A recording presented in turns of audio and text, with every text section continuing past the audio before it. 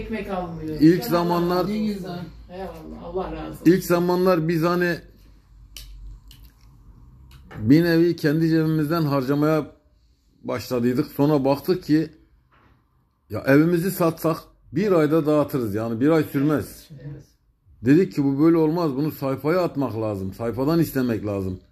Bir kişinin üstüne değil de yani biri der, der ki ben 5 tane ayakkabı ben vereyim. Biri der işte 10 tane ekmek ben vereyim derken böyle toplumsal olarak e, yardım eli uzatılır. O zaman ne olur? Uzun ömürlü olur. Mesela biz bir buçuk yıldır ekmeği dağıtmanın acayip mücadelesini veriyor. Yeri geldi biz kendi aramızda topladık. Bugün ekmek veren olmadı. 20'şer lira 30'ar lira para toplayıp o gün ekmeği biz verdik. Allah Dedik ki çünkü o kadar insan alışmış ki bize günlük olarak bizim tespit ettiğimiz aileler gelip e, listeye yazdıranlar. Tamam bunların geliri yok, kocaları yok, yetim çocukları var, yüksüz çocukları var.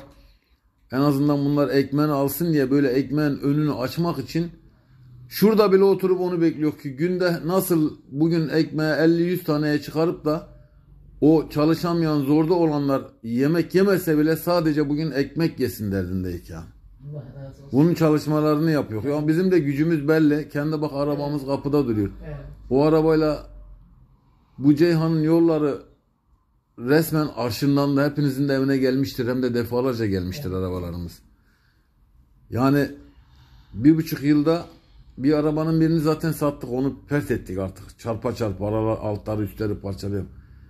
Bizim gücümüz belli. Ha bizim gücümüz belli derken en azından bu işleri yapmaya gücümüz yetiyor. Evet. Ha birileri de çıkıp ben de sizin elinizden ufak da olsa tutayım dediğinde işte o zaman çark dönüyor yani. Evet. Rabbim işinizi gücünüzü rast götürsün. Allah sizin gibi insanları arttırsın. Cümlemizin inşallah. Olur ya.